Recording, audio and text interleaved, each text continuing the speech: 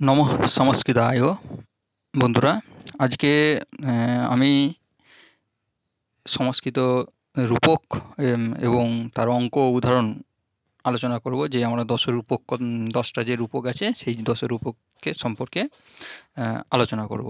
প্রথমে বলে দিই, আমি, আমার পরিচয়, আমি Haradhan Das M A BEd NET O SET qualifier চলো, বন্ধুরা, দেখা যাক এই দশ রূপক। এই দশ রূপক হলো নাটক উপকরণ ভান বায়ু সমবিকার ডিম ইহা মৃগ অঙ্কবিধি প্রহসন এই দশরূপক।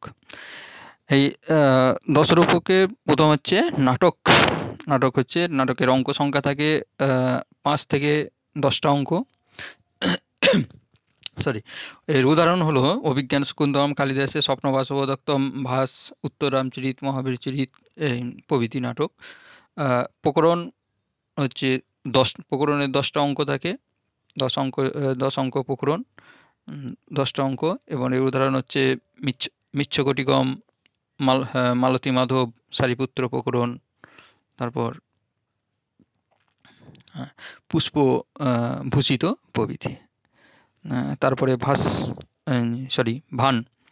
ভানের ভান হচ্ছে এক একাঙ্ক জাতীয় নাটক, যেমন লীলা মধুকরম যে সিঙ্গার সিঙ্গার শেখর, মকট মদল, মদলিকা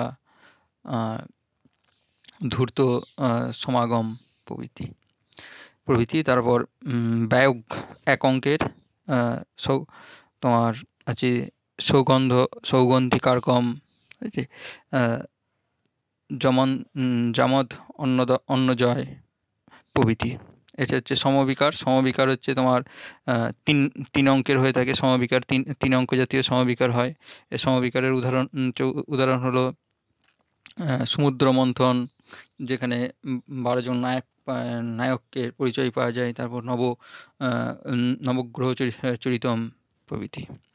এছাড়া ডিম যে ডিমের, চার চার অঙ্ক বিশিষ্ট থাকে ডিমের।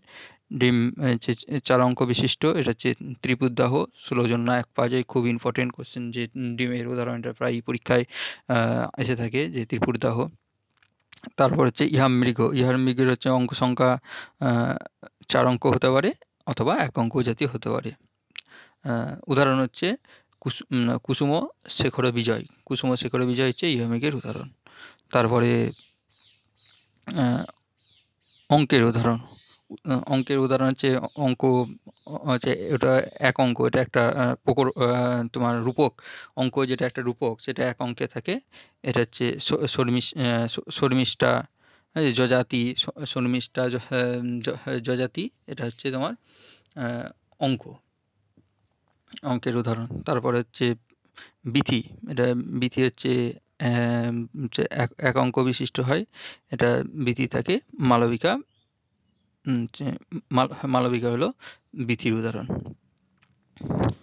তারপরে হচ্ছে প্রহসন প্রহসনের অঙ্ক সংখ্যা এক এবং এটা কন্দর্প কেলি, উদাহরণ হচ্ছে তোমার কন্দর্প কেলি আর ধূর্ত চরিতম। কন্দর্প কেলি আর এখানটা হচ্ছে ধূর্ত চরিতম। তয়রে ধূর্ত চরিতম। হচ্ছে চর হ্রস্বই তম।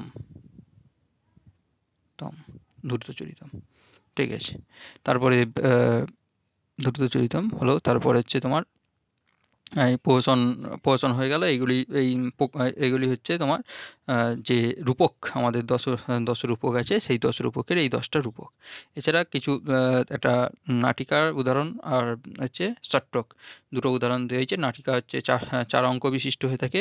এগুলো কিন্তু রূপকের মধ্যে পড়ে না হ্যাঁ? নাটিকা এবং চট্টক এই দুটো রূপকের মধ্যে নয়। এটা হচ্ছে চার অঙ্ক বিশিষ্ট নাটিকা হয়ে থাকে। যেমন রত্নাবলী, প্রিয়দর্শিকা, এগুলো হচ্ছে নাটিকার উদাহরণ। চট্টকের উদাহরণ হচ্ছে ষট্টকের হচ্ছে এটা হচ্ছে অঙ্ক নয় ষট্টকের এটা থাকে চার জব জবনিকা এটা হচ্ছে জবনিকা হ্যাঁ যে জবনিকা থাকে নাটিক ষট্টকের এর উদাহরণ হচ্ছে কর্পূর মঞ্জুরি। ষট্টকের উদাহরণ হলো কর্পূর মঞ্জুরি। আচ্ছা এই এই ছিল আজকে আমাদের যে দশ দশরূপক